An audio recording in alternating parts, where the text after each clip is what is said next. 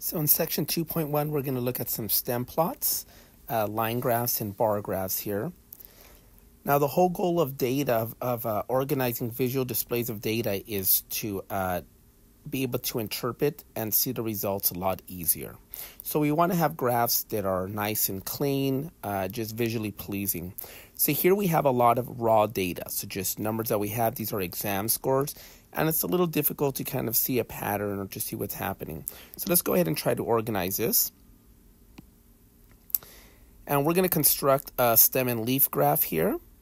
And we always want to put our data in ascending order. So we got off fairly easy here because our data already starts from smallest to largest, and that makes it a lot easier for us.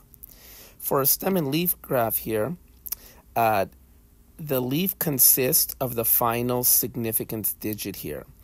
So since we have numbers that are uh, just in the tens place, so two digits, that means the we have our tens place and our ones. So the ones is going to be the leaf. And then the tens place will be our stems in this case. So if we look at that very first number there, which is 33, then the stem is going to have a 3 and the leaf is also going to have a 3. That results with the number 33. Let's go to the next set of numbers. So here we have 42, 49, and 49. So we're going to put the stem once with a 4, and then we'll go ahead and put the leaf uh, corresponding to each one of those digits. So we have a 4 and a 2 for 42, a 4 and a 9 for 49.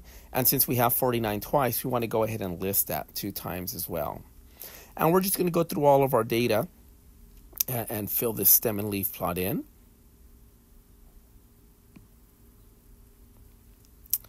So our 50s, our 60s, 70s, 80s, uh, we have 90s, and then we have a hundreds place. And notice that the stem has a one zero for that uh, that tender, so that's going to the hundreds place there. So we just went through all the data and we started filling in the values. And it's important that we make sure that we uh, line them up. Uh, that way we get a sense of how large one row is compared to the other. Now, with stem and leaf plot, if we turn it on its side, it's actually a, a bar graph, and specifically, it's going to be a histogram that has a width of 10. So, uh, if we were to turn it on its side, this guy's going to really create a bar graph that we're used to seeing with those vertical bars. Uh, and specifically, it's going to really be a histogram even though these um, uh, bars are touching, it's really a histogram with those groups of 10 there.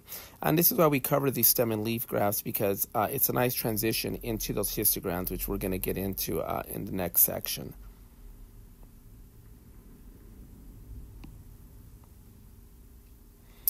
Okay, so let's look at this example here. And so we're looking at a survey of 40 mothers, and we're asking, uh, they were asked, I guess, for their teenagers uh, to remind them to do chores. And so, again, this first category, um, a number of teenagers that didn't have to get reminded at all, right? There was two of them in that group, and so on for each of these. So here we have data that's already organized in a nice table. And so we're going to want to put, let's put our frequency and number of times teenager is reminded. And so here we have the y-axis, uh, which is typically our dependent variable. The x-axis our independent variable. And when we label that y-axis, notice 14 is the largest value. So there's no need to go beyond that. And we could pick our numbers as we want. So uh, in order to have some nice values, I'm going to go ahead and just end it at 15, even though that's not the max, just so these numbers are nice and clean. I chose to go up by threes. You could have went up by fives or any value you want. And so uh, similarly here, we're going to go ahead and do that on the x-axis. The highest value there is 5, so no need to go beyond that in this case. And then we're going to want to go ahead and plot these. So kind of like in an algebra class, if you recorded how, if you remember how to um, record um, ordered pairs.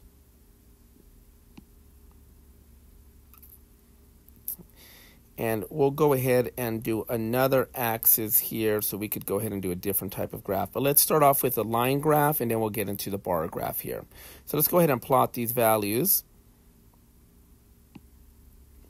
So the first, you can think of it as an ordered pair, it's going to be 0, 2. So we're going to go ahead and put a plot right there on our line graph. And we'll do these for the next value as well. So again, I'm going over 1, and then I'm going to go up 5 units there. So from that origin, and make a plot. And we'll go ahead and do this for each of those values there. And since we want a line graph, we're going to go ahead and connect these. Notice it's different than an algebra class where you get a linear equation that's completely a straight line. This one is going to be a little bit jagged here. So this is going to be our line graph in this case. And technically this is what we call a frequency polygon. Okay.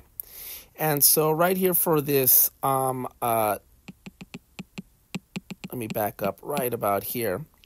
So right here, notice that this one starts at zero and then moves over. A lot of times for a bar graph, uh, we don't want to start it right at zero so it overlaps with the axis. So many times we will have graphs where we move things over. So we're going to shift this over a little bit here. And then we're going to label that as 0, 1, 2, 3, 4, and 5. So notice that 0 is right not at the origin, but slightly off there. Um, and let's go ahead and plot this. So again, the first point zero two is about there, but instead of leaving it as a dot, we're going to go ahead and make a bar to that height there. And so the reason we moved it over was so that that bar is not on that uh, y-axis. And we're going to go ahead and do this for all of these uh, values here. So the next one goes to a height of 5. Then the next one is going to go to 8 and so on here. And it's always a good idea to label these just so it's nice and clean. So we pick up one of these, for example, if we see here that uh, for 3 we do go up to a value of uh, 14. That's corresponding to this right here.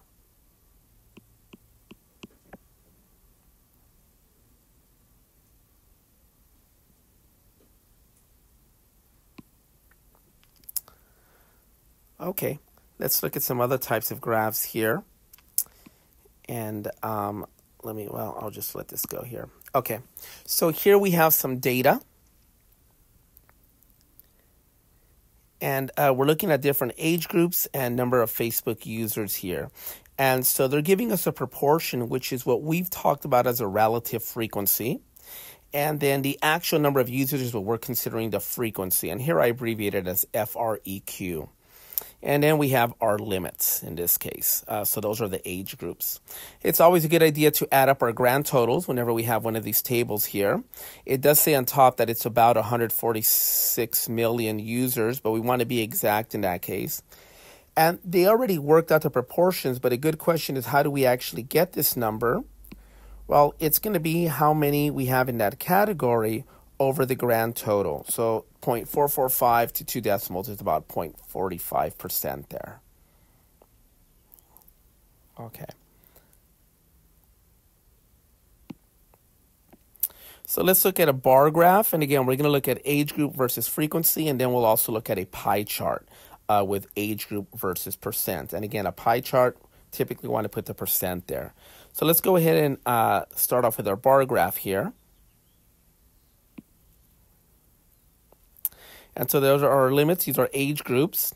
And then we have the Facebook users, and that's going to be in uh, millions here.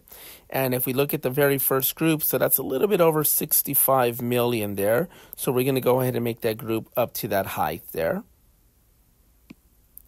And we'll go ahead and do that for each of these uh, different categories here.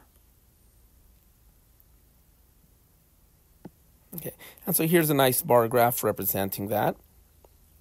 Uh, let's look at a pie chart here with the same data, but we're going to use the percentages this time. And if you recall, a pie chart is really a Pareto chart here. Um, and we like to start off kind of at that 12 o'clock position and work counterclockwise. So the largest piece is a little less than 50%, so a little less than half. And I'm just estimating here, I'm not pulling out a protractor, but I'm going to go ahead and just go a little bit uh, less than 50% there. And there's a good label for that. Now, the next group from 26 to 44, it is about 33, or it's about a third of it. It's 36%, so about a third of it. So I'm going to use about a third of the circle there. And again, just estimating that. And then finally, the other group is about uh, roughly a little less than a quarter, and that's just kind of what's left over there. And that'll account for 19%. So here's a nice way where we have some data that's already organized, and then we could recreate some of these other types of graphs.